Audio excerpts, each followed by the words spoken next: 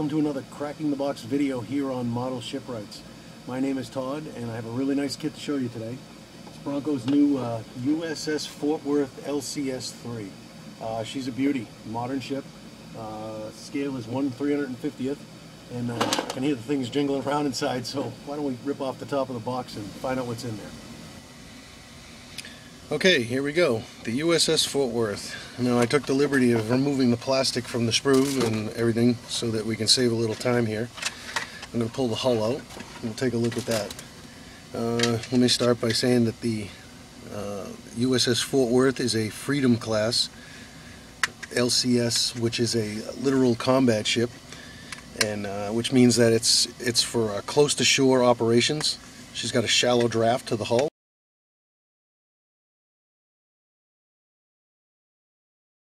Which means she can get in and get out, uh, deploy assault teams through the various. Uh, we have a, a, rear. There's going to be a rear um, hangar bay door that opens up, and it can launch uh, assault crash uh, boats and different things like that.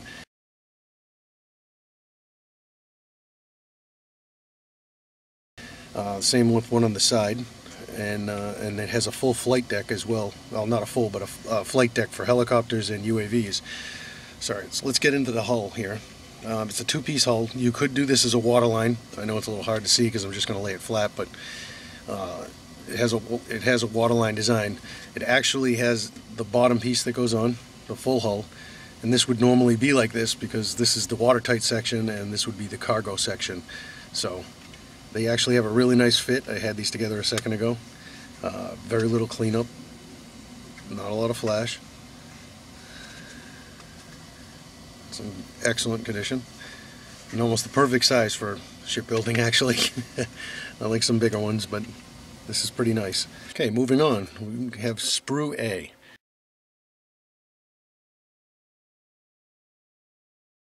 Um, on this on this uh, sprue tree, these two parts are not used in the kit. You can convert this ship to the LCS-1, which is the USS Freedom. Um, the kit does not support that in the decals.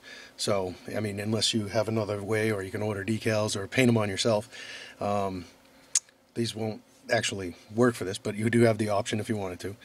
But we have the uh, bow section of the decking, the front deck here, we have some watertight doors. This is for the uh, the hangar bay off the back and the stern, and then these are for the sides. There's a couple on the sides where they can launch the crash boats out of. And then we have uh, neat little details if we can get close enough here. That is a RAM, which is a rolling airframe missile system.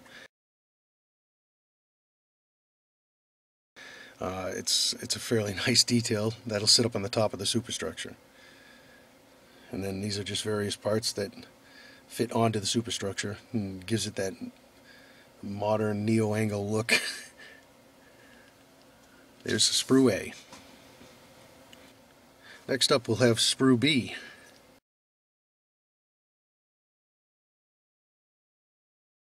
Now these are the uh, most of the superstructure parts, a lot of radar, a lot of weather equipment.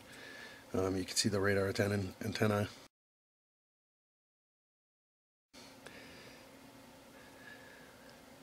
The yardarm, more or less, it's a it'll be off the mast. And this is the utmost top part of the ship. We have finials here. This is for the base, so the ship sits on these.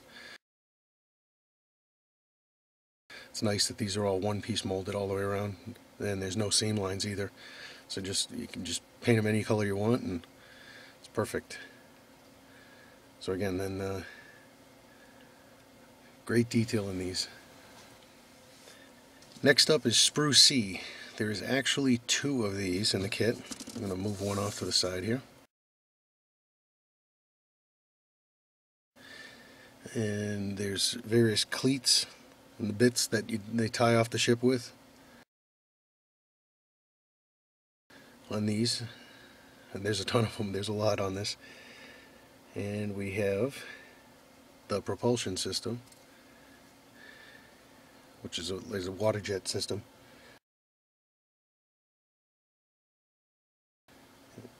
And there's some really, really excellent detail on that.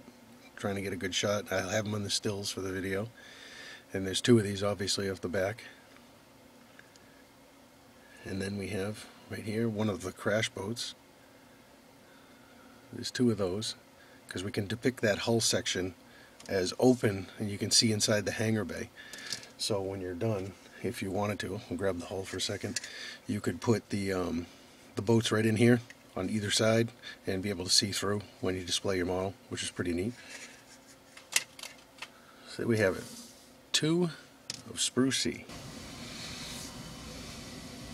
Okay, next out of the box we have three of these, which is Sprue D.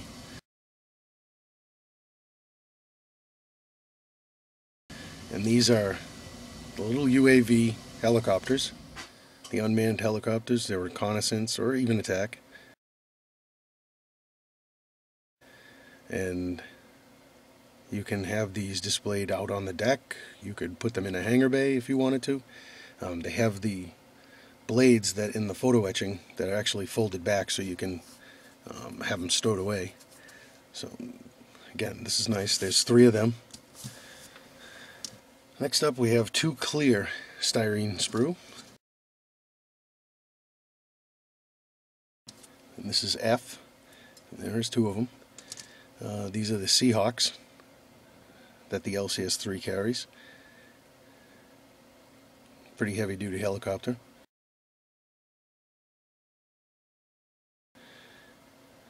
And again, these can be, you can have one out on the flight deck ready to go with the propellers out. Um, the other one, you can have the blades retracted and in the hangar bay for storage. Either way, it's a, these are nice details to add to a, any build. There you go, two Seahawks. Next up, we have two G sprues. Uh, they're both the same, and they have the blades and the parts for the helicopters.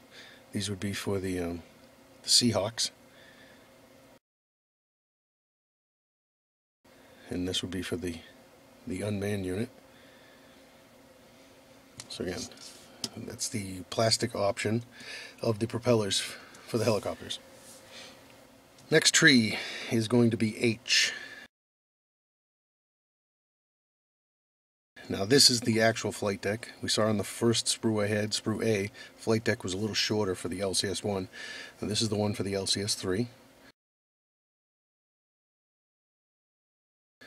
You can see all the raise marks. There's actually all the tie-down circles have the little cleat inside of it, which is neat. That is, it's really molded well. This would be the watertight door at the rear, um, the stern section. I'll grab the hull again.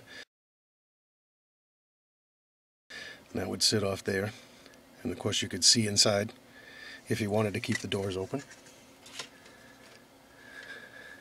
and so there we have it the flight deck and the rear access I'm going to jump back to E which is a clear sprue and these would be the windows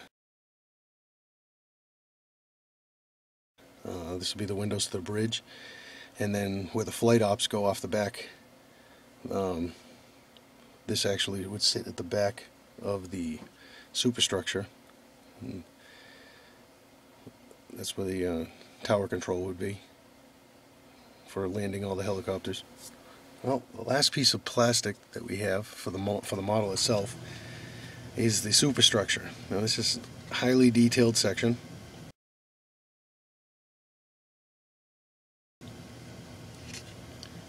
We have the bridge that would be the windows where the clear sprue was going. It's molded, it's hatchways, in ladder work.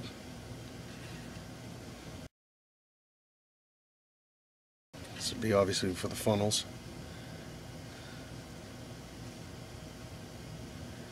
Um, this would be one of the, the side hangar bay doors.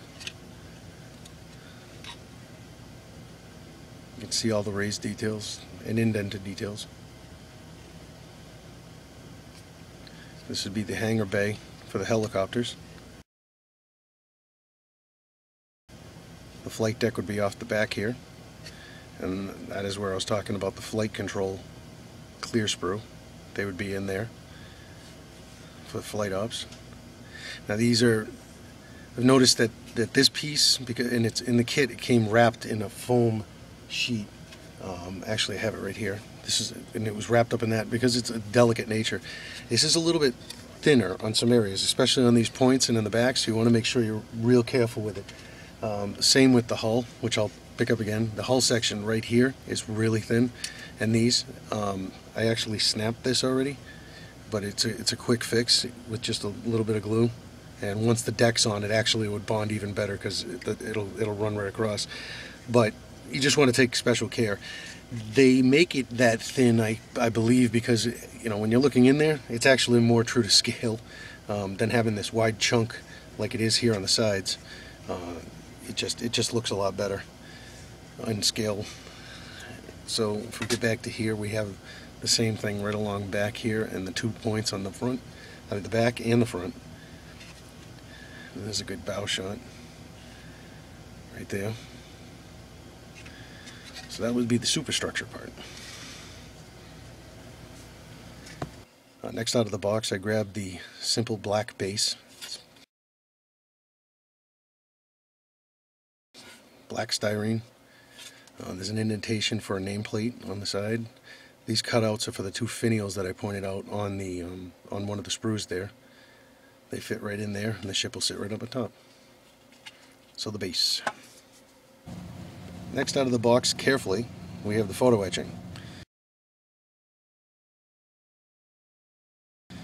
Contains a number of parts. You'll see a, a better view of them on the stills as we go through this. We have the nameplate the ship. That fits on the um, the base that we showed you in the in the uh, the opening in that uh, cutout section, not cutout, but recess section. We have the blades for the UAVs. We have them deployed and uh, retracted, so if you want them in the hangar bay, you'd, you'd, you'd store them like that so the blades weren't hanging out. And the same for the Seahawk. We have the we have one set that's um, that's retracted, and then we have these blades here that you would put on as being uh, fully deployed, ready to go. There's radar antenna in here. Um, some there's a ladder. Some railing work. Um, this would be the railing cage work type um, protective flight deck railing. It folds down when they have flight ops and then folds up after they're done so nobody walks off the edge of the deck. So then we have a nice sheet of photo etching. Next out of the box we have the decal sheet. And this is the entire flight deck with the white line. You could paint it or you could use the uh, slide off decals here. These are the decals for the helicopters and you would might want to cut those out before you try to take this giant one out because they're actually inside of it and that wouldn't be a, that would be a mess. uh, we have the ship's name, Fort Worth, which would be right on the stern and then the ship's numbers, which is three, and it would be on the port and starboard side of the bow, which would be the big number, and then on the back uh, to the stern in the aft section, there would be one on each side as well. So the decals. Okay, uh, before we get to the instructions, um, this was in the bottom of the box. It's a just a printout of the box art of the USS Fort Worth, which is kind of neat. It's a little poster you can hang up in your workspace while you're working on it, give you a little inspiration. There you go. Nice little poster. Okay, let's move on to the instructions. Um, standard format for Bronco. A nice booklet format. Everything's clearly printed. Um, color as well. You can see here on the parts legend, parts that you're not supposed to use are been grayed out. And the photo etch is in gold here. It's also pretty nice because it's an alternative color than some of the other instructions that you see with other kits. All of the photo etching is still in gold so that you know where it's going when you're supposed to apply it and whatnot. Um, they give the various options of the ship. You can have the hangar doors open, like I said. On the back you could do the two different versions if you really wanted to of the ship. And then one of the more important parts of the ship would be the superstructure. And you can tell here because it actually spans over two and a half pages, almost three if you count the page before this. Um, all the parts in this kit, the majority of them go on that superstructure. These would be, I get close enough here, those would be the windshield wipers for the bridge. And those are all photo etching. And the railings. We have the gun mounts. We have the missile launcher here in the back, the RAM system. Detailed mast.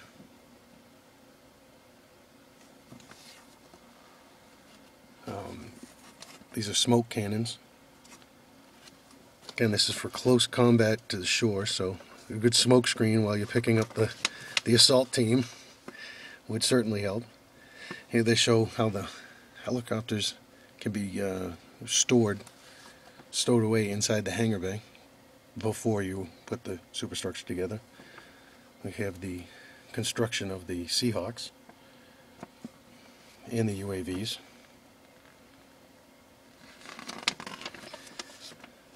And mounting the ship, and then the color schemes. That would be the Seahawk, that navy gray, sea gray, and the color schemes.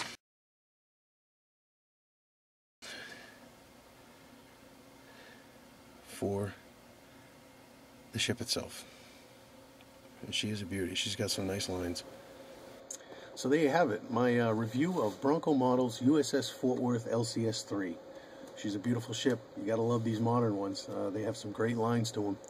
Uh, it's a great kit. There's a lot of detail in here. Um, not a high part count to the kit. Uh, there is a lot of photo etching and a lot of tiny parts. But with a lot of patience, time, and effort, anybody should be able to build this up into a beautiful display model, especially if you love these modern ones. So with that, I want to thank you for joining me on this episode of Cracking the Box here on Model Shipwrights, and I hope to see you soon with another kit review. Thanks.